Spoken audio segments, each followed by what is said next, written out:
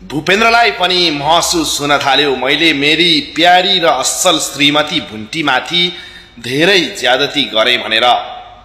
र भूपेन्द्र अब भुन्टीलाई भेटेर माफी माग्न चाहन्छन् र जिन्दगीभरि भुन्टीको खुसीको लागि जे पनि गर्न तयार हुन्छन्। र म कहिले भुन्टीलाई दुःख दिन्न र तिमीबाट कहिले टाढा हुने कोसिससम्म पनि गर्दिनँ। मैले त अरू कसैको कुरा सुनेर यो अवस्थासम्म तिमीलाई पुऱ्याएँ।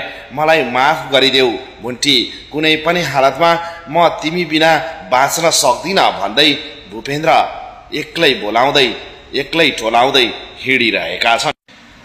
हुँदा हुँदा भूपेन्द्र आफ्नो ससुराली गाउँ पुगे किनकि भुन्टी ससुराली अर्थात् माइती घरमै छिन् भन्ने विश्वास लागेको हुन्छ भूपेन्द्रलाई र माइती घर पुग्छिन् पुग्छन् भूपेन्द्र। अर्थात् ससुराली।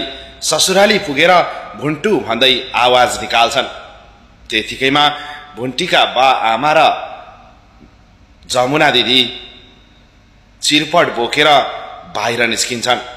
सबैको हातमा देखिएको त्यो लाठीले भूपेन्द्रलाई हाने भरे भूपेन्द्रको जिन्दगी बर्बाद हुन्छ भन्ने भूपेन्द्रलाई लागिसकेको हुन्छ। बिचरा भूपेन्द्र डराइरहेका हुन्छन् तर अर्को विकल्प केही पनि थिएन। गल्ती गरेपछि गल्तीको सजाय त पाइन्छ भन्ने विश्वास भूपेन्द्रलाई पनि थियो। तर भुन्टीलाई लुकाउनमा सुकुमायाको ठुलो हात थियो। त्यो कुरा भूपेन्द्र लगायत भुन्टीको परिवारलाई पनि थाहा थिएन कि भुन्टी कहाँ छिन् भनेर। न त टोकालेको श्रीमतीलाई नै।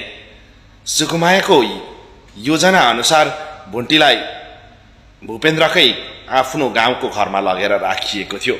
अब भुन्टी र भूपेन्द्रको मिलन चाँडो भएको देख्न पाऊ। भन्ने जतिले तल कमेन्ट गर्न नबिर्सिनुहोला।